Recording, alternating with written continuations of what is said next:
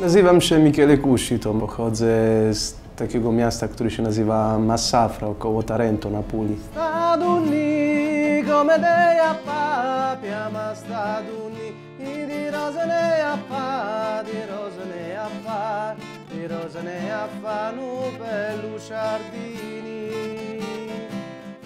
Nikt w rodzinie z nas nie miał żadnego wykształcenia muzycznego. No, dla mnie był najnaturalniejszą rzeczą na świecie, był śpiewać. Zacząłem e, słuchać tej naszej muzyki e, ludowej i zrozumiałem, ile miałem tej muzyki we krwi nie wiedziałem. Po prostu e, jest piękną częścią naszej kultury, tradycji. Tarantella, te nazwy tańcy pochodzi od pająka, a nazwy pająka tarantula, a nazwy pająka pochodzi od mojego miasta Taranto.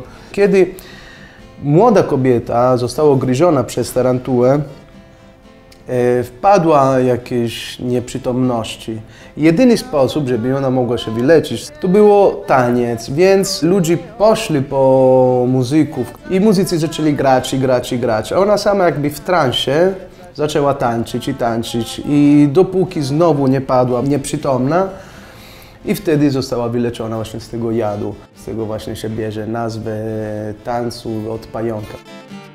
Na brava fontani, miezza c'è U nas wyjątkowy jest e, no, krajobraz, bardzo podobny do Grecji czy do Turcji niż do, nie wiem, do Rzymu czy do Florencji, czy jeszcze bardziej do Wenecji. To zupełnie taki inny krajobraz, inne rośliny, inne domy, inna architektura i tak. Penne alla crudaiola to są takie właśnie takie rurki penne, a się nazywają la crudaiola, bo to, co jemy razem z, z tym makaronem, to nie jest gotowane. Właśnie wszystko jest tak na surowo. Crudo po włosku znaczy na surowo, czyli bazylia, pomidorki, czosnek. Razem z, mo z mozzarellą się zostawia na noc w lodówce. Na drugi dzień właśnie się gotuje makaron i się dodaje, się robi jakby sałatka.